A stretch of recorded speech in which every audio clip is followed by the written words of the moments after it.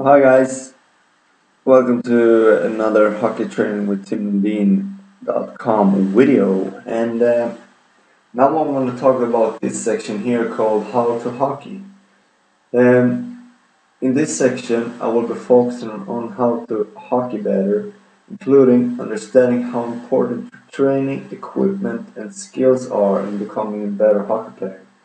There are several different aspects that are all together mixed up to make you a better hockey player. This is really, really important, guys. So, take note of this. The on-ice hockey training. Of course, you know why this is important, but why, what I will be teaching you here is the special knowledge that I've gathered and taken with me on this journey. These are different things you, you that will will be so valuable on your journey to become a better hockey player. And the best part of all is that not many think about it. So you will be the you will be one step ahead all the time. So moving on, the off ice training. This is crucial if you want to want to succeed. You need a strong body in hockey. The hard thing when it comes to hockey is that you want to be big, strong, fast, and have good stamina.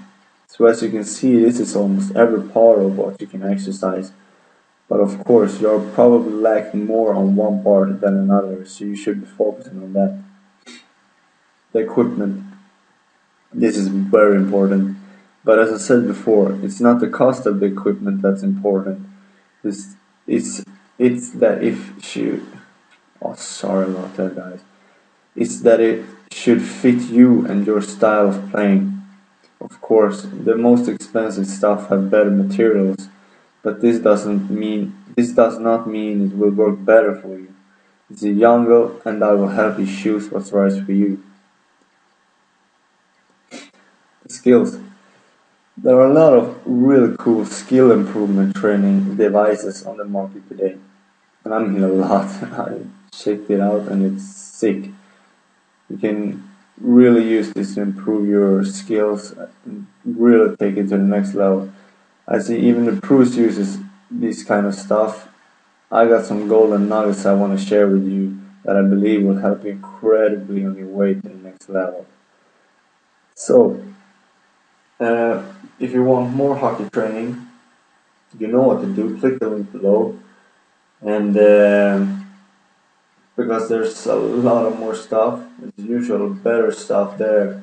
So just go check it out and uh, you take care guys. And work hard. Timothy signing off